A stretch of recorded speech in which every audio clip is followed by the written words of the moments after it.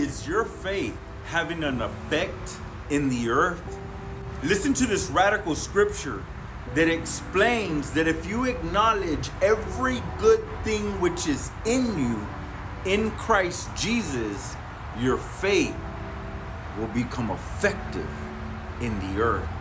And I quote Philemon chapter 1 verse 6 that the communication of thy faith may become effectual by the acknowledging of every good thing which is in you in Christ Jesus.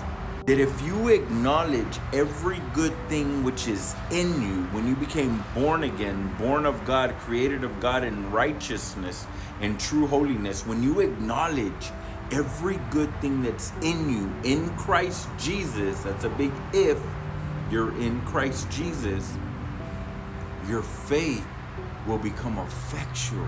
It'll become effective in the earth. It'll become effective in your relationships. It'll become effective in your community. It'll become effective in your thinking and in your heart.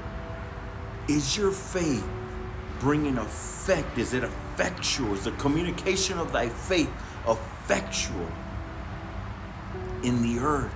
If not, it's because you have not acknowledged every good thing which is in you in Christ Jesus. And sad to say, are saying to acknowledge your worthlessness, your self centeredness, your sinfulness. No, the negative self sinning identity needs to be destroyed, needs to be put to death, buried with the Lord Jesus Christ in burial and in death, risen to new life, that the life of Christ may live through us. You only become effective in the earth as a son of God and a daughter of God when you acknowledge every good thing which is in you in Christ Jesus. Quit listening to the lies of the enemy and start identifying yourself with how the Father sees you, with how the Father has created you in His image and His likeness, and how you are created and robed in righteousness. For Jesus, who knew no sin, became sin for us, that we might be made the righteousness of God in Him. When you acknowledge every good thing that's in you, in Christ Jesus, your faith will become effectual. The communication of thy faith will become effective in the earth. And you'll do exploits for the King.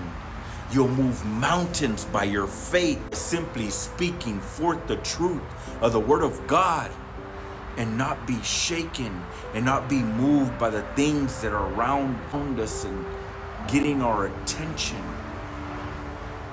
because you have faith and it's become effective in your life because you acknowledge you have a revelation you have an understanding of every good thing which is in you in Christ Jesus